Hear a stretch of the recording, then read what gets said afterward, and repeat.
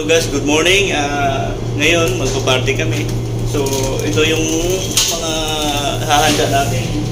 Maglilitso ng baboy, turkey. So, si Buso na daw yung maglilitso mamaya. So, ako na magagayat ng mga ingredients niya.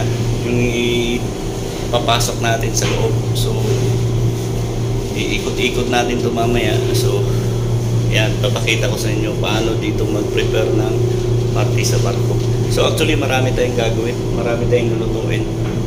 Nandiyan na yung cake, mga fried items, mga salad, yan.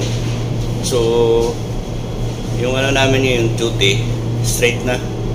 Hanggang alas 5 na yan, hanggang matapos. So, magtutuhog pa tayo ng ano, babarbecuehin mo, mamarinate pa tayo.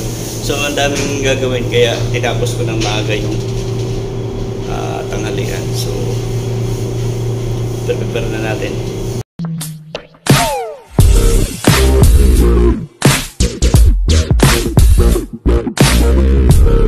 So, ito na yung lechon guys. Ayan. Papatuluin muna natin. Saka punas-punasan. Kasi frozen yan eh. May mga ano pa yan. Tubig-tubig sa loob. Kaya mga dalawang oras patuluin natin yan. Ayan. till it's cool, just cool, into the mouth. Nice.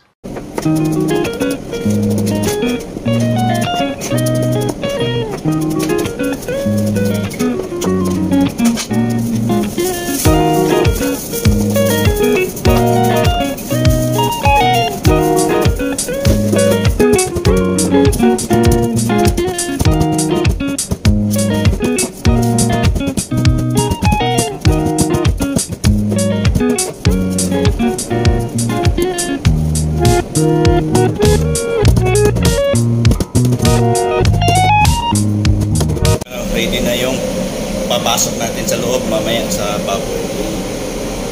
Mga 13 kilos lang naman yan. Madali lang maluto. Mga 2 to 3 hours luto na yan. Mga alauna, isasalang na natin yan. Yan lahat yung ano natin, pang iihaw mamaya. Yan. Hindi natin masyadong ramihan kasi may lechon naman eh. Tsaka may ano pa sila, di ba? Salmon. Sa limon. Mm. Bungas. Mga Masaya na si Bungas. Ayan. Ganda ng design.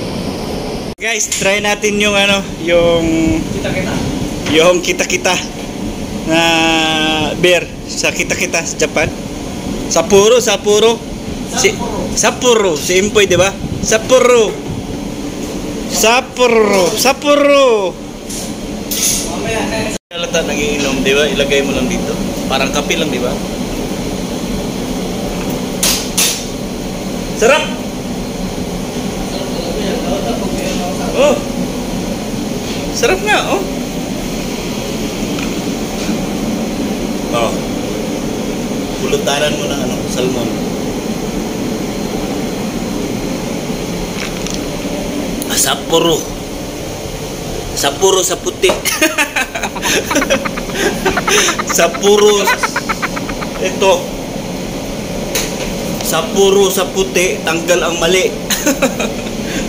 Sapporo. Hay! Sapporo! Hay! Yung gagawin mo kabayan? Ha? Tinatawag tayo na, Na, papunta tayo ng Africa, South Africa. oh, African. Naka, ano rin yan, naka, naka, base rin sa. Oh, okay. Ano yan? Medyo lang, medyo. Ano yan? Ah, African hito? African lechon. Yan ang ano, natumbok mo kabayan. Really, nigga? African lechon. Tangina ngayon lang ako nakarinig Kaya, yan. yan ang matitikman natin yan. Kasi Sure ah? kung papunta tayo ng Pilipinas, di sana, di, just lechon. Mga lechos. Tama. Milas lechon. Ba medyas? Pag medyas lechon kasi, kabayan, medyas ang pinakain. Ah, kaya medyas lechon. Ah, okay, yun pala yun. Ito, ranch lechon. Daming bawang yan ah. Masarap Bawang pa siguro yan. Yeah, ulam na. Ayan na po!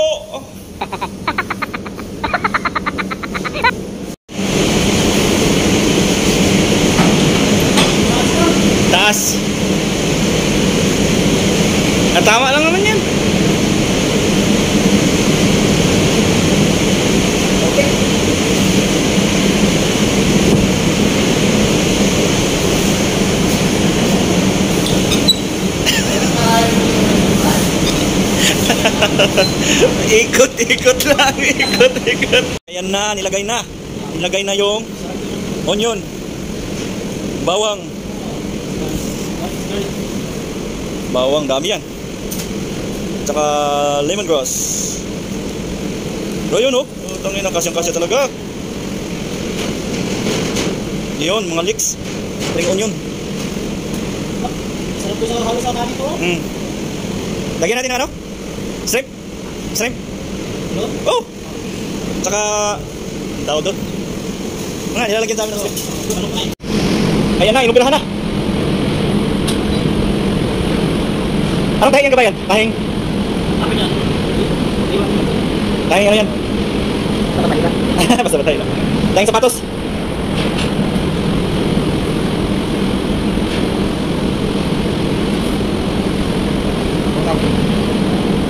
Hindi lang patay. Hello. No, what is that?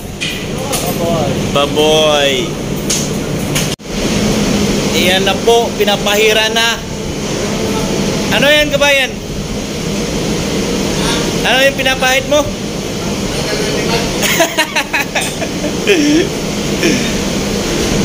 Yun, pumupula na. Lupit talaga maglitso ni kabayan, no?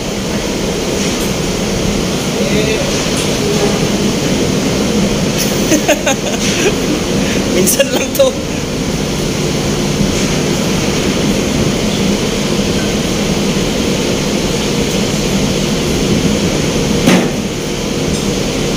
Ah, Pula na, pwede na yan, itapon.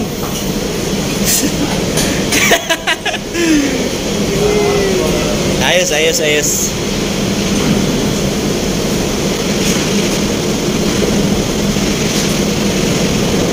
Ah, litsonero yan sa ano?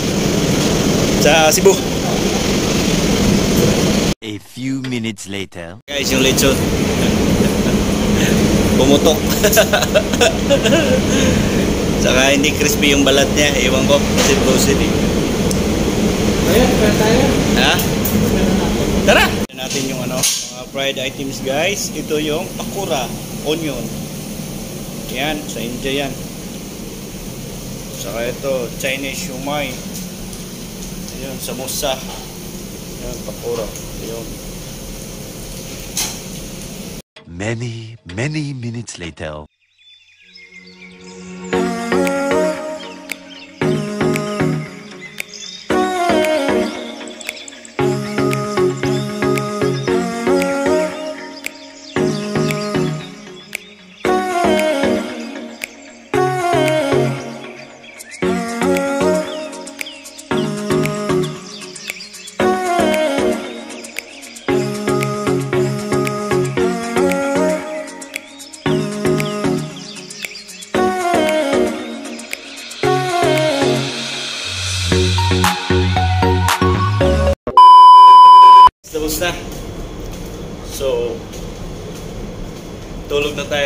Medyo nakainom tayo ng ah, apat na bottle.